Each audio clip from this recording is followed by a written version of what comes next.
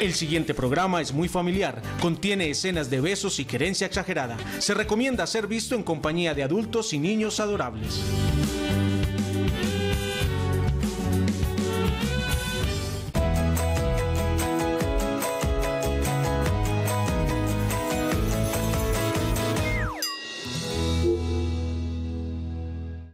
Nos unimos en un arrullo para abrir juntos un camino. Yo te ayudo entre dudas, llanto y caídas, entre risas, besos y abrazos, juntos nos gozamos la vida paso a paso, construyendo desde el amor, paso a paso, para hacernos la vida mejor, paso a paso. Aquí estamos, haciéndonos la vida mejor, como nos gusta todos los días. Bienvenidos a quienes se conectan a esta hora a nuestro paso a paso. Hoy para conversar de un tema que nos interesa mucho a los padres, sobre todo a esos papás primerizos o a esos papás que tienen bebés recién nacidos, padres que se enfrentan a la lactancia, pero hoy con un componente muy especial y es el del papel, el del rol del personal de salud, eh, del profesional de la salud, llámese enfermero, pediatra, con los que nos encontramos eh, cuando estamos precisamente en esta etapa de la paternidad, porque muchos son eh, culpables de una muy buena lactancia o culpables de ir a comprar una muy buena leche de fórmula. Hay, hay de las dos cosas. Moni, ¿cómo vamos? ¿Bien o qué? Es verdad, hola a todos, buenas tardes, bienvenidos. Este enfoque, la verdad es que nunca se lo habíamos dado al tema de la lactancia materna y desde hace un par de meses, quizá un poco más, hemos venido teniendo eh, estos temas gracias a la Fundación Éxito, eh, que es digamos una alianza que se da pues dentro del de el marco de eh, también a su vez una alianza que se ha hecho externa por la nutrición infantil, que tiene que ver con eh, una iniciativa liderada por el despacho de la primera dama de la nación la Consejería de la Primera Infancia y Adolescencia y la Fundación Éxito Gen Cero, que mm, es bien conocida ya pues por su famosa lactatón, que se hace todos los años y reúne a montones de mujeres lactantes, eh, promotoras de la lactancia, ejemplos de lactancia materna, pero el éxito en asocio con todas estas entidades un día decidió que no era suficiente hacer una lactatón y que dedicaría todo el año a la promoción de la lactancia materna. Entonces, desde hace un par de meses, una vez al mes. Los tenemos aquí en el set para compartirnos todo eso que hacen, promueven y trabajan en pro de la lactancia materna, porque por supuesto es tema de todo nuestro interés. En promo ni de algo que me parece muy bonito y que esperamos cumplir obviamente, y es que es a la primera generación con cero desnutrición crónica en Colombia en 2030. Eh, vamos bien, tenemos 11 añitos para cumplir la meta. Pues sí, ahí vamos. Pues por lo menos ya empezamos, ¿no?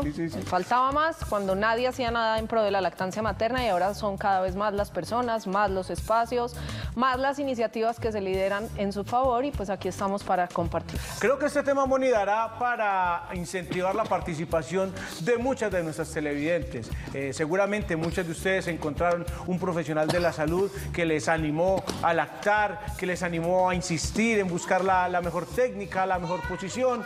Eh, otras posiblemente, como lo decía al inicio, eh, pues no se encontraron con ese mismo cuadro, con los ese mismo desanimó. profesional. Unos los animaron, otros los desanimaron. Con el que desanimó. No gaste tanto tiempo en eso, que Y se vale, la leche. así es, y se vale que nos cuenten su experiencia. En el 268-6033 la línea está abierta para que se comuniquen con nosotros, para que cuenten todas sus experiencias o sus inquietudes y aprendamos a manejar mucho mejor este tema hoy. Antes de irnos con el video, que por demás es un video bien bonito, ya les cuento de qué habla, quiero contarles, o más bien recordarles, porque no he hecho sino contarles, que hoy Leo inicia su cierre de temporada ya en Casa Teatro del Poblado con su obra No nos digamos mentiras. Así Último es. jueves, viernes y sábado. Último fin de semana. A las 8 de la noche, hoy allá pues los está esperando Leo, por supuesto siempre con las puertas abiertas para hacerlos reír un rato, para que ustedes eh, tengan el privilegio de ser parte de eh, todas esas mentiras que alguna vez nos han dicho, nos hemos creído o hemos dicho, porque pues que tire la primera piedra. Todos, todos hemos dicho. Entonces, bueno, allá los espera Leo eh, con todo el cariño, una obra, como les he venido diciendo, muy bien preparada, que vale la pena no perderse. Dicho esto, vamos a conectarnos con este video, que ya les decía que es bien bonito, que habla, contrario a la lactancia, de que los sueños dependen del lugar de donde se nace. Cosa que no pasa con la lactancia porque no importa el lugar del mundo, todos deberíamos tener derecho a ese oro líquido, como lo llaman muchos. Pero este video sí da cuenta de las diferentes aspiraciones que son modificadas a nivel cultural y en boca de los niños se hacen mucho más tangibles, más visibles y suenan más bonito. Pues muy emotivo, muy bonito el video y además me gusta mucho la reflexión que genera al final en los niños, cómo demuestra que después de que ellos conocen otras situaciones, otras real- realidades, pues también cambian su manera de pensar, como comparten. Muy bonito, muy bonito el video, muy bien hecho, eh, muy bien estructurado y pues bonita la conclusión. Yo quiero, quiero y quiero que todos los niños del mundo tengan derecho a la lactancia materna, que es tema de hoy en Paso a Paso. Aquí está nuestra vida real.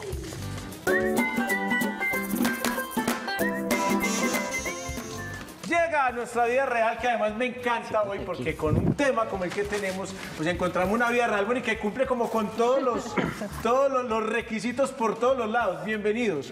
Eh, Giovanna Payán, que está con nosotros, mamá de Juan Martín, que está en brazos, mamá de Candelaria, que está por ahí redecorando nuestro set, y además Juan Pablo Serna. Juan Pablo, papá de esta familia, que además eh, de papá es enfermero. Me parece Así es. fabuloso eso.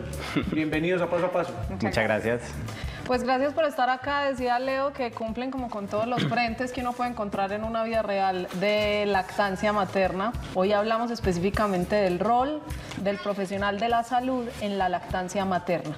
Pero pues para llegar al profesional de salud ustedes pasaron antes por varias circunstancias, ya dos hijos, dos intentos de lactancia, eh, uno más fallido que el otro, aunque pues lo lograron. Pero ¿cómo ha sido un poco la historia y cómo empezaron a querer eh, eh, o a tener ese deseo de lactar incluso desde antes de que naciera Candelaria?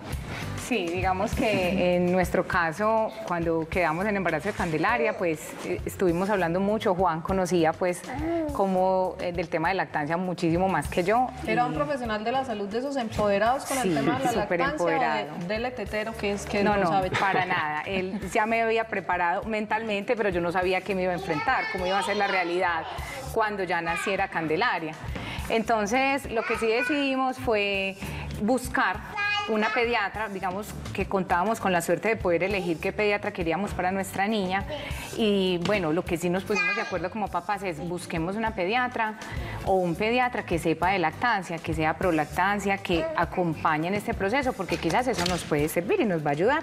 Y desde Entonces ahí ese fue empezamos. antes. Yo creo que desde ahí se evidencia, Leo, la necesidad de segmentar un poco el tema, de hacerlo más específico, porque eso de tener que buscar un pediatra pro lactancia ya habla de, de lo mal que quizá está el medio en términos de asesorar y promover la lactancia. Todos los pediatras deberían ser Deberían lactancia, uno debería buscar un pediatra y ya, ahí debería venir incluido el tema pro lactancia, pero no sucede así. La realidad no es.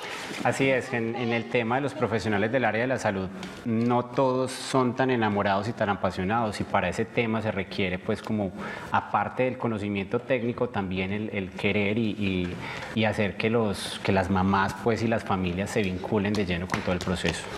Vos, Juan Pablo, sos enfermero de profesión, pero ¿por qué ese acercamiento pronto con la lactancia, una experiencia anterior eh, con, con alguna entidad Bueno, específica? tuve la oportunidad de trabajar bastante tiempo con un programa muy bonito de la Gobernación de Antioquia que se llama Maná. Sí. Específicamente ahí estuve muy enterado de todo el tema de una iniciativa que se llama IAMI, que son las instituciones amigas de la mujer y la infancia con un enfoque muy fuerte en lactancia materna. Entonces, Ya se eh, genera una sensibilidad sí, por el tema. Muy exacto, y por eso ya, como Joana dice, la tenía ella ya súper mentalizada de que la lactancia es lo mejor que le podemos regalar a, Pero ahí viene otro punto, no viene desde la formación. Pues si a uno como enfermero desde el comienzo en la academia no le inculcan La eso. materia de la carrera, pro pues por ahí lactancia. sí uno, empezamos lactancia grave, dos. pues, pero sí Debería, debería haber. Sí. Digamos que en la parte de, de ginecología, de obstetricia, sí se toma, pero no se le da como la fuerza y la importancia que debería. ¿sí? Yo le contaba a Joana pues que vieron pues como ella, eh, hay que seleccionar un profesional que realmente esté eh, bien alineado con el proceso. ¿Cómo fue fácil. en esa búsqueda? Entonces, bueno, digamos que fuimos muy afortunados porque encontramos a alguien que nos dijo, le tengo la pediatra. Eh, le Pero fue fácil, ¿o pediatra". tocó fue fácil, mucho? fue Ujú, fácil. Dieron fácil. Fui afortunada en ese sentido. Pero digamos, esa es la parte bonita de la historia, ¿cierto? Porque, listo, la pediatra no la ve cuando nace el bebé o una cita antes. Pero cuando uno está en la clínica, no es el primer profesional que nos va a hablar sobre lactancia. Entonces, digamos, ahí llega el momento de la verdad. Cuando nace Candelaria y yo no tengo ni idea cómo tengo que pegar a Candelaria, ni cada cuánto, ni por más que uno lea, una cosa es leer y otra cosa es ya tener la bebé en los brazos cuando sales de, de tu parto. Y digamos ahí la experiencia no fue tan positiva como uno desearía, porque eh, los auxiliares de enfermería, que en ese caso a mí me tocaron, me dictaron una receta, pues sin, sin querer pues como ofender lo que haya pasado, me dictaron una receta como hacer un postre. Bueno, entran a, a tu, donde estás con tu bebé y te dicen, recuerda, lo tienes que pegar cada dos horas, no dejes pasar tal cosa, un, pásalo de un seno del derecho, luego al izquierdo, eh, ah, chao y ya, y uno se queda en el cuarto mirando al papá, mirando a la bebé como... ¿Qué hago? No sé, es, o sea, no es empático, no es empático, te causa mucha incertidumbre, uno no sabe si le va a salir, si no le va a salir, cada cuánto, Si cómo debe saliendo, salir. si se está Es- comiendo, es, un muy angustiante. Digamos que en mi caso, la parte positiva fue que entonces a los tres días yo iba a mi cita de pediatría y tenía como esa salvación, era que allá sí me iban a hablar de la lactancia, allá me iban a escuchar qué dudas tenía. ¿Pero qué pasó en esos tres días? O sea, se le Dios a él, se le envió toda la enfermería. Ah, no, no. Sí, estoy segura. Sí, porque ahí ya es papá. Todo. Y, y ahí que mi Dios te ampare, ¿cierto? Es como lo que usted crea, pues póngala aquí, póngala acá, será que es cada dos horas, ponga el reloj, ponga el despertador, a ver si sí, porque yo no había leído en ese primer momento, en ese primer embarazo lo suficiente, no tenía tribu de mamás, que eso también ha sido muy positivo en mi vida o en nuestra vida, tener esas mamás expertas, amorosas, bonitas, que nos han acompañado. Entonces, eh, para mí sí fue muy importante el rol del profesional de salud, porque viví ese primer momento de, angu- de angustia y de poca empatía, y luego ya un momento donde estuve bien asesorada y acompañada, Aún así, entiendo, fue una primera lactancia complicada. con problemas Muy. o con, digamos, donde retos. uno diría eh, o- otro de esos profesionales de la salud que no son tan promotores de la lactancia habría optado por una solución mucho más sencilla pero estos que sí están comprometidos mejor dicho la tuya que ya va a ser nuestra experta hoy acá en paso a paso se dedicó a empoderarte ánimo lo vamos a lograr no tires la toalla eh, vamos a hacer todo lo que esté a nuestro alcance Sí, y también viví como esos dos momentos, el momento positivo y el que no, porque digamos, con mi pediatra siempre tuve ese acompañamiento, pero cuando fue el momento de la dificultad, que fue el peso de Candelaria, que no tenía el peso para la edad y la talla, eh, yo fui donde otra pediatra para el ingreso a, a un programa que se llama Promoción y Desarrollo. Crecimiento. Crecimiento y Desarrollo. Desarrollo, disculpe. Y este pediatra no fue empático conmigo. Este pediatra, sin saber mi historia, sin conocerme porque no era mi pediatra, pesó a la niña, me miró a mí y salí regañada en 15 minutos. Con el nombre de la fórmula que debía comprar, los teteros que debía comprar, su niña está muy flaca, tiene que irse ya a comprar eso. O sea, fue un momento de shock grandísimo. Porque tú vas donde un profesional de la salud esperando empatía, Claro. acompañamiento. Yo no conozco, así mi esposo sabe la salud, yo era una mamá primeriza. Y fue un momento muy duro. ¿Qué hiciste? Mi pediatra en vacaciones, porque eso era enero, ella no había entrado de vacaciones. Fue muy doloroso, lloré, no sabía qué hacer, yo no quería salir a comprar fórmulas. Yo le decía a Juan y él me decía, no, esperemos a Paula, hablemos, no lo hagamos, tú lo estás haciendo bien. Él todo el tiempo me acompañó hasta que la pediatra llegó de vacaciones y pude ir donde ella y en efecto nos empoderó, nos dijo, vamos a hacerlo, vamos a gastarnos entonces el banco de leche, vamos a aumentar las o tomas. sea nunca caímos en la trampa de los teteros y la leche de fórmula Allí no fue, allí no fue. Y aunque digamos yo hice una lactancia mixta con Candelaria ya por condiciones pues conversadas pues con mi pediatra y por el momento de vida que estábamos viviendo, no interrumpí la lactancia, lacté 21 meses, muy bien, fue un periodo muy bonito y logramos superar ese momento de angustia por el peso de ella por un buen acompañamiento. muy bien Qué maravilla. ¿ah? Vamos a ir. ¿qué? Es que esto me tiene ahí. a la línea Ya, lista. sí ahí está está las lista pelotas. la llamada Candelaria. ¿Ah? ¿Estás Erika ahí? Ahí en la línea, 268-6033. Erika con nosotros, bienvenida. Muchas gracias. Eh, pues no, para felicitarlos por el programa. También puedes contarles que yo soy mamá de Lucía, ella tiene dos años. Y de pronto con este tema, pues lo que yo de pronto pude observar o mi experiencia es que hay mucho desconocimiento por parte de las mamás o de las familias pues sobre la lactancia, porque yo pues afortunadamente pude estar en un control prenatal donde me explicaron muchísimo sobre esta importancia de, de lactar. Pero cuando yo ya, por ejemplo, incluso salí de la clínica el primer día, eh, me asusté con, los, con dos pediatras y también médicos generales que me recomendaron complementar la lactancia con leche de fórmula, cuando toda la información que había recibido durante el control pues era lo contrario. Y bueno, eh, y después, hablando ya con otras mamás, me doy cuenta que, que ellas de pronto no pudieron asistir a un control prenatal porque trabajaban y la verdad era que tenían cero información sobre cómo lactar, la insistencia pues que había, o sea, la, la disciplina que uno tiene que tener con esto y la paciencia y persistir mucho, sino que creían que lo mejor era leche de fórmula. Y bueno, eh, de todos modos, sí veo que hay como mucho desconocimiento al respecto. Y mi pregunta es sobre, yo quiero saber si estando embarazada puedo eh, lactar. Pues yo quedé embarazada eh, cuando la niña tenía 22 meses y la médica me dijo que, que tenía que dejar la lactancia, entonces quedé con esa duda porque no sé no sé ustedes qué me puedan decir ahora o con algún profesional que me pueda dar esta respuesta. Erika, muchas gracias por llamarnos y bueno, pues yo no soy la experta, pero sí he entrevistado a muchos expertos a lo largo de estos es tres años.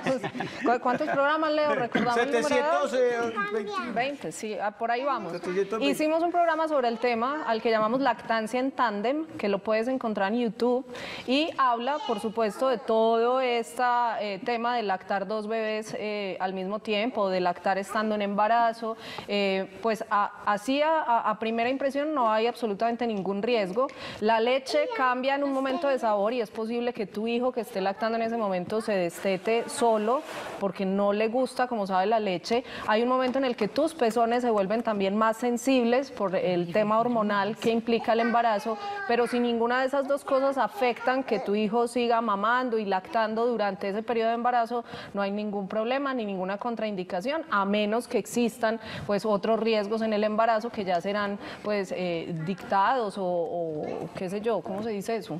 Eh, encontrados, no sé, detectados, eh, Identificados por el identificados personal. por el personal, diagnosticados era la palabra, por el personal de salud. Pero de resto, no hay ningún problema. Encuentras el programa, lo hicimos acá con personas muy expertas, un programa muy completo. Lactancia en tándem, lo encuentras en YouTube.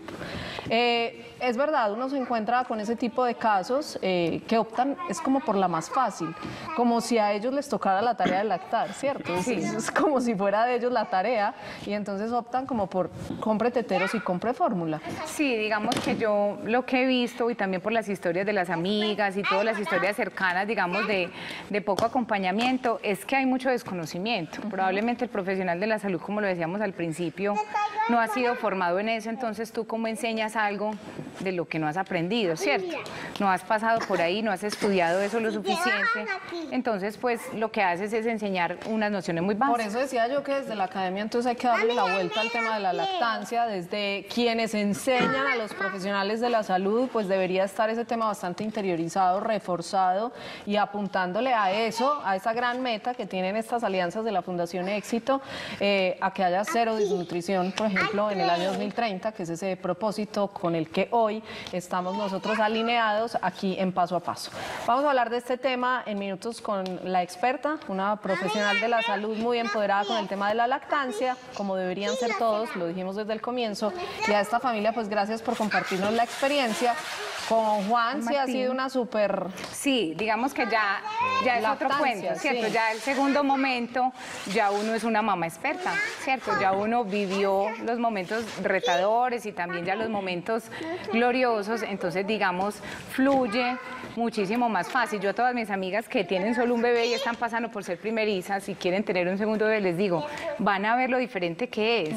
Ya inclusive las cosas fluyen, tú eres una mamá más tranquila, ya los miedos a los que te tienes que enfrentar están superados, ya los mitos sabes que son mitos. Así es. Entonces sí, digamos que Juan Martín hoy es un bebé lactante con la mamá y todo súper bien, sin grietas, sin dolor. Yo digo siempre que uno con el primer hijo se enfoca en solucionar, con el segundo en disfrutar. En disfrutar. Así es. Así Muy bien. Muchas gracias hemos vivido. Muchas gracias. Ya ensayaron con uno, ya ensayaron con el mayor. Sí, conejillo de India. Pero uno- muchas es que es verdad, uno con el mayor siempre quiere una solución para todo, así no haya un problema, uno se lo inventa. Sí, Pero sí. ya con el segundo eso es disfrute, disfrute y Fluye. disfrute, porque tercero posiblemente no va a haber, entonces no hay más opciones.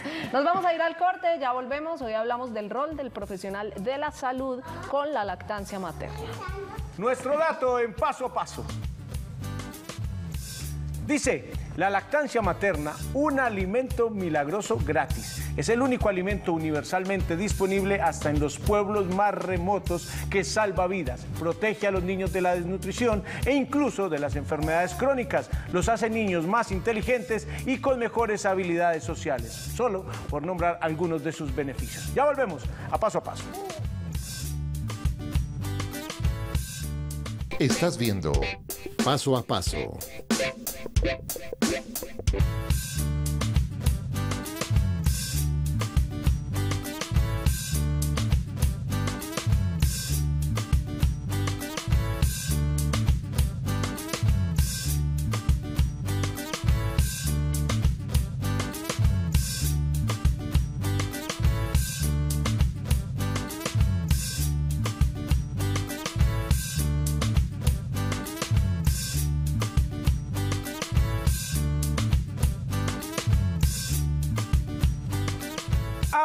Sergio están en nuestro Mamarazzi de paso a paso. Recuerden ustedes, paso a paso arroba telemedellín.tv para enviar sus videos, fotografías, grandecitas, pequeñitas, esos recuerdos que quedarán de estas vacaciones. Esperamos que nos compartan algunos de ellos en nuestro Mamarazzi.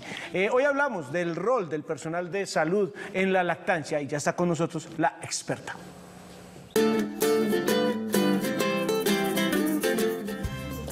Nos acompaña Paula Henao Mejía. Paula, bienvenida. Hola, Doctora ¿cómo Paula, pe- Hola, pediatra y consultora internacional en lactancia materna, pero el título más importante, mamá de Isaac y Martín.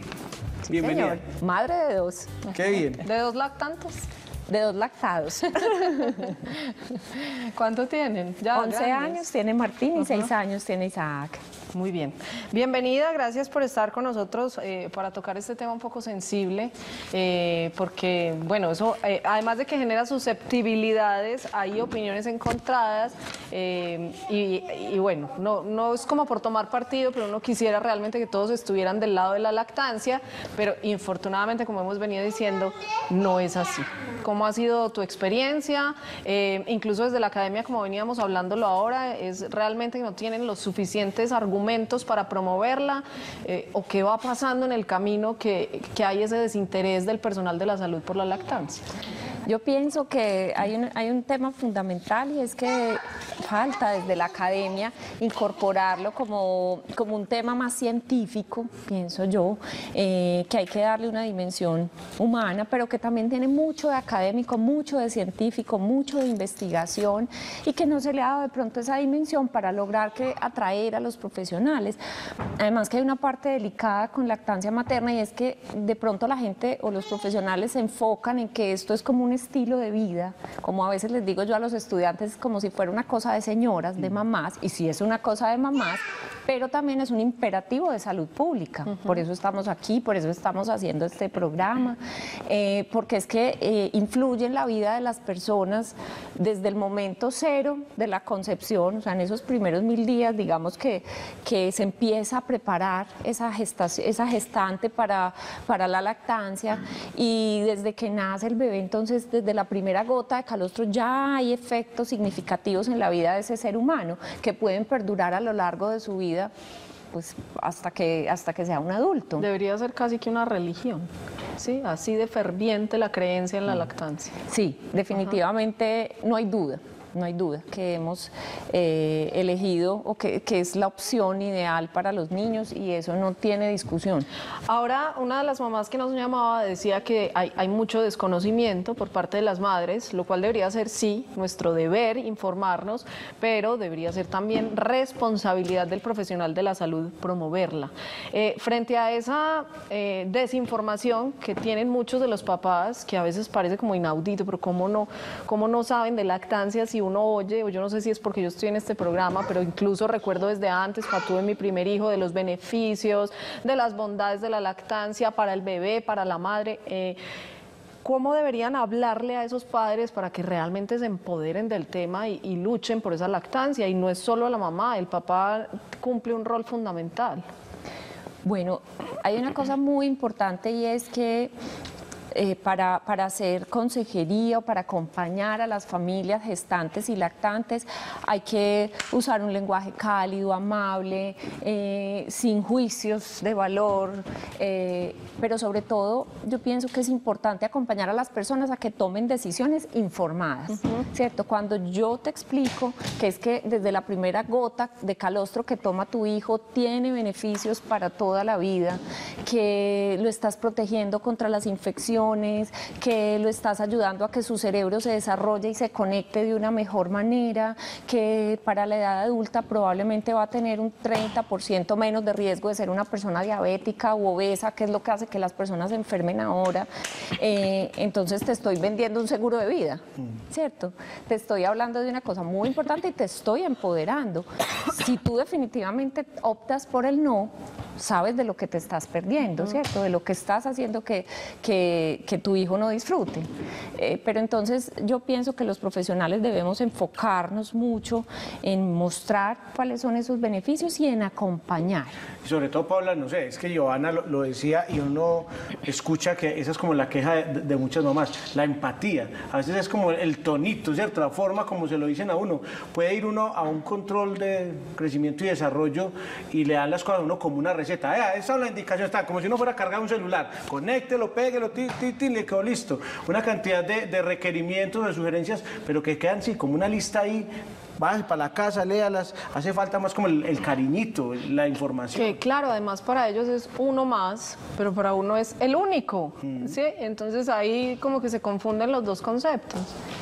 Sí, totalmente. Ese, término de la empatía y sobre todo la empatía en la práctica clínica es algo realmente muy importante. Es que cuando tú eres empático reconoces que el otro tiene emociones y partimos entonces de relacionarnos desde lo humano, no desde la receta.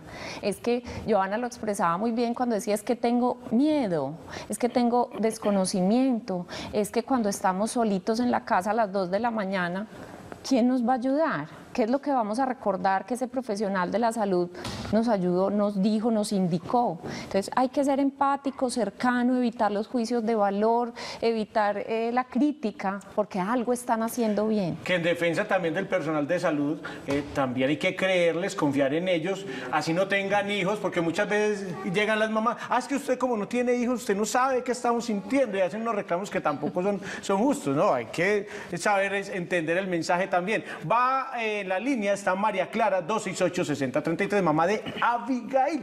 María Clara, bienvenida, ¿cómo estás? Hola, buenas tardes, ¿cómo están? Primero que todo, eh, los felicito por ese programa tan hermoso porque paso a paso he seguido a, a, mi hija, en este momento la tengo lograda gracias a Dios, gracias a sus recomendaciones y al programa que mal que bien cuando puedo y a, a pesar de que trabajo, ahí estoy pendiente de ver paso a paso. Qué bien, María, María Clara, Clara, nos alegra mucho. Gracias. ¿Qué edad tiene Abigail? Abigail tiene 20 meses. Perfecto. ¿Está eh, orgullosa porque inicialmente eh, fue una lactancia muy, muy dura. Eh, me dio mastitis a los 20 días. eh, mejor dicho, mis pezoncitos colgaban de un hilito y mi bebé lo que, lo que mamaba era sangre. Entonces, sin embargo, fui y me, me medicaron, me dieron antibióticos. Yo, eso fue una depresión postparto para mí terrible porque saber que no podía amamantar a mi hija fue impresionante. Y un profesional me decía, no, simplemente eh, darle leche de fórmula porque entonces tu hija va a estar completamente desnutrida. Y yo, sin embargo, insistía, yo, pero si yo soy mamá, yo sé que yo puedo lactarla a pesar de mi condición y aún eh, después de todas esas sugerencias yo seguí y ahí está mi hija porque aparte después de eso eh, pude lactarla satisfactoriamente y hoy en día a, mis- a los 20 meses de ella todavía toma leche materna. Eh, qué gran ejemplo, María Clara. Felicitaciones por haberla Muchas sacado gracias. adelante. Sí, aparte de eso tengo pues como una duda, o sea, igual uno ve mucho las pretensiones de la gente y las dudas que se generan en la sociedad y la gente que habla además eh, para uno como mamá primeriza que dicen, no, pero ¿por qué todavía, está, todavía la estás alimentando? Porque pues igual yo digo, es la leche, yo todavía la produzco, pues mm, soy la que la alimento soy yo y yo sé que a mi hija le hace bien, entonces eh, hay muchos profesionales que me dicen, no, pues eh, láctala hasta los dos años o déjalo ya y, y ya ellas tienen la alimentación complementaria, pero no sé hasta qué punto porque también ella es una dependencia hacia mí que, que es impresionante, entonces no sabría cómo manejarlo en este momento. Muy bien, María Clara. Muchas gracias por tu participación. Yo te diría, aprovechalo mientras dura, porque después esa dependencia. Pero aquí está la experta para que te conteste. Bueno, la recomendación, pues si partimos de la recomendación científica que estábamos hablando ahora, eh, la Organización Mundial de la Salud nos dice lactancia materna hasta los dos años o más si la madre y su hijo así lo desean. Entonces, si María Clara y Abigail así lo desean, así será. Eh, el apego no es malo. Y el apego seguro, el apego con afecto, el apego protector es bueno y es un motor para la vida. El problema son los, del apego son los apegos inseguros. Eh, si yo pudiera respirar por ti, respiraría por ti. No, respira, que yo te acompaño a respirar. Entonces, María Clara y Abigail se tienen que mover en ese sentido, ¿cierto? De- y la hecho- lactancia no es mala porque genere un vínculo estrecho entre la madre y el hijo. Por el contrario, es la forma de relación que los niños aprenden para la vida. Bien decimos que la lactancia es el principio de la solidaridad, porque quien es amado aprende a amar. Eh, Exacto, que en muchos programas que hemos hecho de vínculo y apego eh, a lo largo de estos años también hemos hablado mucho de cómo ese apego, particularmente con las figuras eh, maternas y paternas, pues es justamente lo que los hace seres más independientes porque saben que tienen de dónde arraigarse, que pueden ser seres más sociables porque tienen una base fuerte y segura, que no es una relación de, de ese apego mal entendido que tenemos como mal estereotipado además, eh, de que no van a ser capaces de, de salir, de ser independientes, de hacer su propia vida por estar pegados de nosotros, sino que por el contrario, sentirse seguros al lado de seres que los quieren, los hace saber que si se van algún día, pues siempre van a tener a dónde regresar. Básicamente es como la, a la conclusión que hemos llegado, diría yo, en esos programas. Yo quería aprovechar que se estaban haciendo las respuestas porque ya la doctora Londoña había dado una respuesta inicial a Erika que preguntaba por Lucía sobre el, el tema de, de- de lactar estando en embarazo. No sé si la doctora Paula quisiera agregar algo a, a ese- a esa pregunta. No, no, no, la respuesta de la doctora Mónica estuvo espectacular. avalamos, la avalamos ahí, avalada. certificado. Certificada, no, está muy bien, se puede hacer lactancia en tándem. Obviamente habrá unas condiciones específicas de salud de la madre que en un momento determinado podrían contraindicarlo, pero por lo demás, no, eso sí, consejo para la mamá, hay que alimentarse muy bien, hay que hidratarse muy bien, eh, contar con la ayuda de la familia y el respaldo de la familia para amamantar a dos. Ya podemos montar consultorio Moni. Muy ya. bien, Leo. Listo, bien, ya. vamos. Más allá de eh, la responsabilidad y el manejo por parte del profesional de la salud que debería dársele al tema de la lactancia materna, ¿cuál ha sido como la principal barrera que se ha encontrado, que ha- has encontrado en tus consultas y en tu experiencia para que las madres no instauren de manera adecuada la lactancia materna? Bueno, hay como varias cosas y, y yo creo que ya las mamás, las mamás, Joana y la, y la primera mamá que nos llamó, eh, había, lo, mencionó y es un poquito el desconocimiento que se tiene del tema. Si tú no conoces algo, pues es difícil enfrentarlo. Si, si lo enfrentas con argumentos y con herramientas, va a ser más fácil. Entonces creo que el desconocimiento eh, es una barrera muy grande. Uno. Dos, que falta acompañar a la madre una vez nace el bebé en esos primeros días que son decisivos. Entonces hablamos del contacto piel a piel y la lactancia en la primera hora de vida, que es fundamental para lograr una lactancia exitosa. Sería como un paso número uno, pero que ni los profesionales a veces se animan a, digamos, a practicar ese contacto piel a piel, a, a orientar a la madre en este tema y las mamás muchas veces no lo no saben. Eso es como, la- digamos, lo- lo- en los primeros, en el primer día o en los primeros momentos de la vida, eh, ya una vez nace el bebé.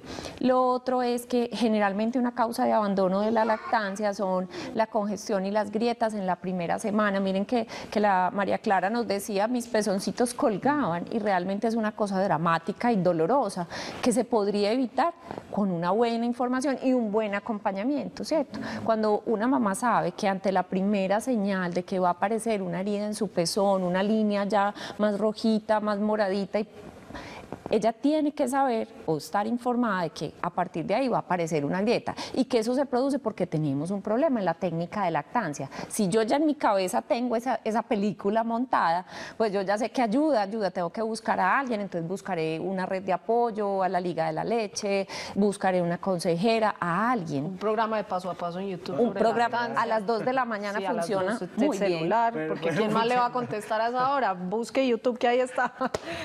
Paula, dentro de toda tu experiencia en esas asesorías de lactancia, ¿hay alguna que te haya marcado específicamente donde se ha podido revertir una situación negativa con una mamá lactante a recuperar esa, esa lactancia? Sí, a ver, hay momentos que son claves como en la intervención frente a una familia que tiene dificultades. Eh, en el programa Canguro, yo soy pediatra del programa Canguro y vemos los bebés prematuros, pero a veces uno piensa que unos bebés que han eh, nacido muy pequeños, de 28 semanas y mil gramos, eh, que de pronto han estado separados de su mamá por un tiempo muy largo, y muy largo pues es que están hospitalizados dos meses o tres. eh, uno pensaría que esa lactancia no tiene futuro, pero es hermoso cuando uno logra com- eh, como, como encontrar a esa mamá con esa disposición, con ese deseo y empezamos a trabajar y vemos que las cosas van funcionando, que va respondiendo y que al final podemos terminar con una lactancia exclusiva después de haber, estar separ- de haber estado separados dos o tres meses. Es algo realmente emocionante y retador para el profesional, porque es que si tú quieres yo te acompaño y te acompaño hasta el último día, o lo logramos o nos frustramos, pero juntos vamos a, hacer, a sacar adelante este proyecto. Entonces hay, hay familias que pasan por situaciones muy extremas y se logra revertir, o mujeres que son tercas hermosamente tercas, diría yo. Yo tengo alguna mamá que ha tenido cinco mastitis, está hospitalizada cinco veces porque tenemos una situación muy crítica, pero ella nunca ha deseado dejar la lactancia. Entre el dolor, entre las lágrimas, entre tiene ella para ella esa leche es el regalo más valioso del mundo y ha luchado por ella hasta el último momento. Entonces yo digo, son hermosamente tercas y cuando una persona es hermosamente terca, pues no cabe más que acompañarla. Qué bonito De es. Eh, vamos a la línea 268-6033. Lina está con nosotros ahí, mamá de dos. Lina, ¿cómo estás? Bienvenida. Muy buenas tardes, ¿cómo están? Muy bien, contentos de oírte, Lina. ¿Mamá de quién? Mamá, Jessie Schneider y Jean-Paul Pérez, ¿De qué edades? de 22 y 10 años. Perfecto. Tu pregunta, tu experiencia, Lina, con nuestro tema. No, mi experiencia es que para mí la lactancia es maravillosa. Yo mi primer hijo lo lacté casi hasta los 3 años. Y el segundo, pues se me quedó un vacío ahí porque solamente lo pude alimentar cuatro meses, por lo que me operé mm, para no tener más hijos. Y tengo entendido que como que, no sé si fue la anestesia, el caso fue que se me secó el alimento. Consejo para las mamás, pues yo haber sabido que el alimento se me iba se me iba a secar antes de tiempo no me hubiera operado. Que alimenten los hijos lo más que puedan, que esa es una prueba de amor, una muestra de amor, que es lo más maravilloso que puede haber. Eso es un regalo que Dios nos dio y lo debemos de usar para alimentar y dar amor a nuestros hijos, que es la mejor manera de conectarnos con ellos. Lina, qué mensaje tan bonito. Pues por, por un lado los tres años compensan un poco lo de los cuatro meses, pero si salgamos de la duda, ¿tiene algo que ver? No, realmente el procedimiento quirúrgico, la anestesia, pues digamos que eh, esa mamá no podría amamantar a su bebé en las primeras horas después del procedimiento, digamos 12, 24 horas a lo sumo, dependiendo del tipo de medicamentos que haya recibido en su procedimiento quirúrgico, pero volvemos a el tema de la desinformación. Entonces, una mujer lactante que va a ser sometida a un procedimiento quirúrgico debería recibir consejos sobre cómo hacer un banco de leche. Su banco de leche en casa, entonces vas a estar mientras te operan, mientras no sé, puedes estar hospitalizada un día, vas a hacer un banco que nos permita respaldar al niño. Entonces, vas a recoger tantos días antes de la habla que el cirugía. alimento se secó. ¿Es posible que algún medicamento haya hecho un efecto como negativo ahí o eso es como Posiblemente, puede ser algo, más bien algo de mito. Lo que pasa es que si tú dejas de estimular el pecho, el pecho deja de producir leche, tu organismo sensa que no se necesita. Y esto acompañaba el miedo que tal vez tuvo porque te pusieron anestesia, te pusieron medicamentos, esos medicamentos le pueden pasar al bebé, entonces bajó eh, o, o suspendió la lactancia y empezó a bajar la producción y no alcanzó a respaldar al niño y se fue perdiendo la lactancia. Muy bien, nos vamos a ir entonces al corte. Venimos para el último segmento del programa. Yo todavía tengo un par Para de preguntas. Aquí viene la última toma del día. Eh, aquí está la frase en paso a paso. Nuestra frase nos dice hoy, pocas prácticas de salud tienen el potencial de mejorar las oportunidades de vida, salud y bienestar de la población a corto y largo plazo como la lactancia materna. Ya volvemos a paso a paso.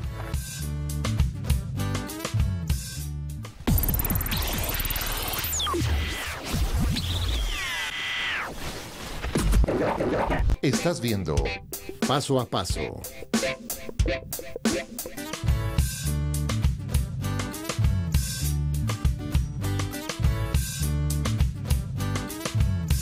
de Raquel. Canto le pues.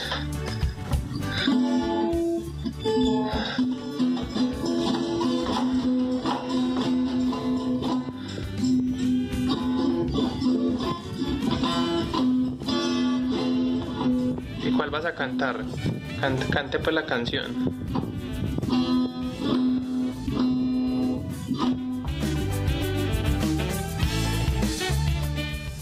Teníamos a Raquel en nuestro mamarazzi de paso a paso, imponiendo una nueva forma de tocar el tiple al revés. Se descuida y le quitan el puesto a usted, Ah, no, oiga. es que estamos llenos de niños talentosos. Eh, seguimos hablando hoy de lactancia materna, del rol del personal de la salud y nos pregunta Carolina Saldarriaga, nos cuenta más bien a través de Facebook, dice, buenas tardes, tengo una bebé de dos años y la nutricionista me dice que por qué la sigo alimentando. Pensaría uno que los supuestos profesionales no tienen la información sobre la lactancia. ¿Se da esto también para Paula? Para, no sé, muchas veces se generarán discusiones entre los mismos profesionales, unos que están muy a favor de la lactancia, otros que dirán, pues hombre, si, si la mamá no quiere o no puede, pues vámonos por lo rápido y lo fácil. es Pues la que además está bien, pues y ya conocido por todos que sí, efectivamente hay profesionales que no la avalan, no la promueven, se optan por el camino fácil, diría uno, pero sí, entre ustedes mismos, pues habiendo tantos estudios científicos, que es la base de esa carrera, ¿por qué existen? No, no enti- no entiendo cuál es el argumento para no apoyarla. Bueno, eh, digamos que en la academia las discusiones hay que trenzarlas desde la evidencia científica, Exacto. ¿cierto? Entonces uno, eh, cuando suceden este tipo de cosas, uno busca el respaldo de la, de la evidencia científica para decir, mira, es que un niño que toma 500 centímetros de leche materna a los dos años de edad está recibiendo más o menos el 35% de su requerimiento calórico diario y entre el 40 al 50% de su requerimiento proteico diario. Entonces, en los contextos, por ejemplo, de inseguridad alimentaria, ¿tú cómo le vas a quitar a un niño el 35% del requerimiento calórico, por ejemplo? Entonces, todos aquellos que eh, están en contra de la lactancia eh, después del año de edad o lo que llamamos las lactancias prolongadas, pues deberían pegarse un poquito más a, a- como, como este tipo de, de argumentos. Porque Eh, yo entendería esto de una nutricionista, tal vez si fuera la dueña del supermercado y claro, le bajen las ventas por de cuenta de la lactancia, pero, pero además nutricionista, con todos estos beneficios nutricionales que tiene la lactancia materna, ¿cuál es el argumento? Hay otro tema bien delicado mm, que, digamos que vale la pena mencionarlo y es que existe un código internacional de comercialización de los sucedáneos de la leche materna que Colombia lo acogió hace muchos años ya y que eh, básicamente trata de regular la injerencia de la industria farmacéutica, que son los que hacen las fórmulas infantiles, eh, eh, sobre los profesionales de la salud. Entonces vemos que, que esta industria farmacéutica está presente en eventos de científicos, en actividades académicas y digamos que va metiendo también eh, como estas ideas entre los profesionales eh, a través de dádivas, de regalos, de visitas y digamos ¿Qué pasa que al final de las discusiones entre ustedes? Una pediatra pro lactancia versus una que no la avala ni la respalda. ¿Cómo se da la discusión? es En que me los inquieta, me términos de la porque siento cordialidad. que carecen de argumentos. O sea, ¿cómo Se agarran a tetero limpio. ¿Cómo, ¿Cómo es la van a defender algo que, que- que- cuyo Eh, opositor lo supera en argumentos y evidencias científicas? Totalmente. Yo digo muchas veces que es que eh, las fórmulas infantiles palidecen al lado de la leche materna. Yo ya no doy ese tipo de discusiones airadas, porque es que yo estoy absolutamente convencida de, de lo que estamos eh, trabajando y de lo que estamos promoviendo y de lo que significa la lactancia materna. Pero muchas veces la respuesta tiene que ser académica. Dime ¿De dónde sale? ¿Cuáles son los oligosacáridos de la leche materna que tú vas a traer a esta fórmula infantil? Entonces los otros se quedan te más queda que la leche, porque, pues, ¿de dónde queda más blanco que la leche. Así se deben dar las discusiones. No es que a mí me parece, que es que no me O gusta, sea, que ante un argumento de esos, ese doctor queda como el niño. Sí, Mamán. total. Fair está en la línea 268-6033. Mamá de dos. Bienvenida, ¿cómo estás? Muy bien, gracias. ¿Y ustedes cómo han estado? Muy bien, contento de oírte. ¿Mamá de quién? Bueno, mamá de Raquel, que tiene dos años y medio, y Débora, que ahorita el 2 de julio cumple dos mesecitos. Perfecto. Raquel y Débora, ¿cuál es tu pregunta o tu experiencia? Bueno, mi experiencia. A Raquel la lacté básicamente hasta los 25 meses eh, con una lactancia exclusiva y genial. Eh, leía mucho, también en ese momento eh, consultaba pues con una pediatra eh, muy buena que me dijo que tratara pues al máximo de lactancia materna. Luego em, quedé en embarazo, entonces ya estaba el programa paso a paso y vi todos los programas de lactancia en tándem y no me dejé apabullar de que me dijeran, le estás quitando los nutrientes eh, de la otra bebé eh, a tu hija, que yo no sé qué, eso la va a traer con malformaciones. Y yo sí, pero tan raro, es que eso se llama lactancia en tándem. Entonces yo les decía, averigüen, averigüen y verá. Entonces yo no me dejaba como ah, ah, nada, yo decía que iba empoderada con mi niña y, y que iba a seguir con Débora así tal cual. Entonces ya después tuve... eh, hipertensión gestacional ya con el embarazo de Débora en las últimas semanas, entonces ya sí me internaron en la clínica y obviamente no la podía seguir lactando. Y ya salió Débora súper bien y cuando llegué a la casa yo dije, bueno, si Raquel se quiere volver a pegar, que se pegue, que hay para las dos. Entonces hasta el momento no, súper bien con Débora y con Raquel. Ya Raquel no quiere tanto la lechita porque le dice, me dice que está maluca, que ya mejor para la bebé. Pero mm, eh, es muy necesario no estar acompañada y eh, me encantan los programas de ustedes porque uno con eso quita mitos de muchas cosas, incluso los, los, los cuidados del recién nacido. Cuando ya tuve a Débora, que no me acordaba de muchas cosas, me volví a un programa que hicieron con Nora Leche Sí. y espectacular. Y de ahí ya la vecina que venía y me ayudaba, cuidado con el ombligo, y yo, ay vecina, tranquila, mejor váyase que yo lo organizo a mi modo y paso a todo paso. eso. Y yo, sí, solo paso a paso. Ay, Entonces, bueno, qué, testimonio tan bacano, tan bonito y bueno, como siempre decimos aquí, eso, eso llena de sentido lo que hacemos. Muchísimas gracias. Se nos va acabando el tiempo eh, y yo quisiera terminar, pues preguntando qué es, qué es lo que hace falta para que el, el personal de la salud se empodere de este tema de la lactancia materna como debería de ser. Yo pienso que hace falta academia, hace falta que esto sea una materia del, del pensum de las universidades, de donde se estudia medicina, enfermería, nutrición, es una materia, no es un relleno, no es un ajuste, es una materia. Para mí es clave eso eh, y es clave la generación de conocimiento. Esto es un tema de investigación, es un tema científico. Eh, en la medida en que nosotros nos vamos pegando a eso y vamos demostrando que esto no es una cosa de señoras, que tiene todo de científico, todo de académico, pues de pronto lograremos que eh, los nuevos profesionales, los profesionales jóvenes vayan virando en esta dirección. Y para esos otros profesionales que quizá nos ven, ¿cuál sería el mensaje con respecto a su misión frente a la lactancia? Lo que es bueno no hay que venderlo, se vende solo. Hay que confiar, hay que confiar, hay que estudiar eh, y hay que darnos la oportunidad de que las familias disfruten de verdad de la lactancia materna. Eh, la leche materna mm, es el primer alimento funcional de la naturaleza, es alimento medicamento, es el único que es capaz de nutrir y satisfacer muchas otras necesidades de un ser humano, que no tiene costo, que es específico de la especie. Entonces, eh, tenemos que estar decididos es a cambiar, o sea, romper el paradigma y volcarnos hacia lo que es bueno para las familias. El Y mensaje acompañar. para una familia, Total. para una mamá eh, que se enfrenta eh, por primera vez o por segunda o en el momento en que sea con uno de esos profesionales que no la promueve.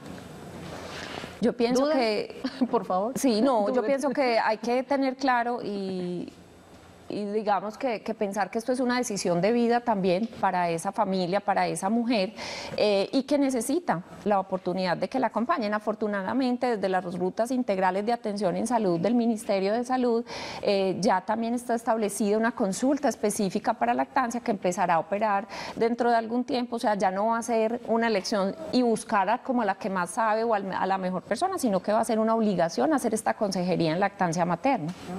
Bueno, creo que son muchos los medios, cada vez más, por fortuna, pero sí es, como lo hemos venido diciendo a lo largo del programa, nuestra responsabilidad, nuestro deber, informarnos para poder tener también argumentos, no como profesionales quizá de la salud, pero sí como padres que estamos tomando una decisión sobre el futuro y el presente de nuestros hijos, tener los argumentos suficientes para en esos casos, como dijimos ahorita, dudar.